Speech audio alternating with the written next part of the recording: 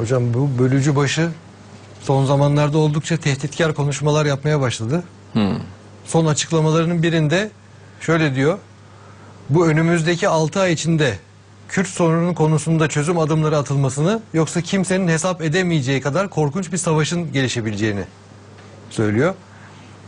Ben Diyarbakır'ı böyle tutamam. Böyle dönemlerde ya ölürsün ya da öldürürsün. Kimin öldürüleceği de belli olmaz. Bu ülkenin cumhurbaşkanı bile ağzında köpüklerle öldü. Çözümsüzlük uzarsa Türkiye'yi böyle büyük tehlikeler bekliyor. O nedenle bu örneği veriyorum. Diyor hocam. Bunu kim diyor?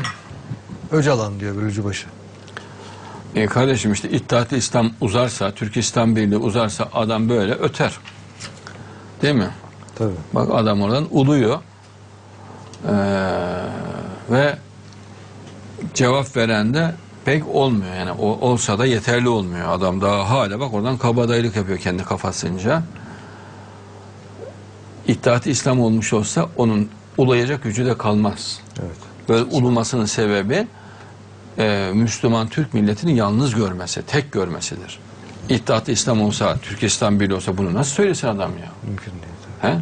Böyle ötecek gücü olur mu? Mümkün değil. İşte bak İttihat-ı İslam'ın olmamasının nasıl bir felaket olduğunu Allah göstertiyor bak. Bir adam gidiyor oradan uluyor. Ve e, verilen cevaplar da yetersiz oluyor. Halbuki İttihat-ı İslam olmuş olsa ulumanın sesi zaten gelmez yani öyle bir konu olmaz. Tabii yani.